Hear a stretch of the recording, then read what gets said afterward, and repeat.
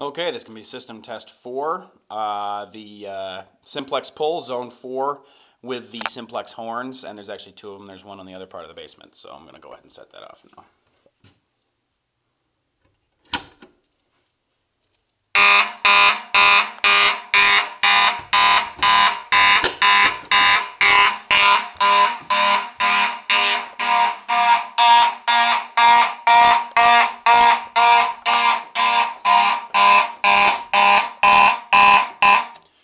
We'll silence it the old-fashioned way with the acknowledge. You can see that when you do that, incidentally, it stops flashing and it goes solid red, but it's still an alarm. And uh, since I reset the pull station, I can reset the system now.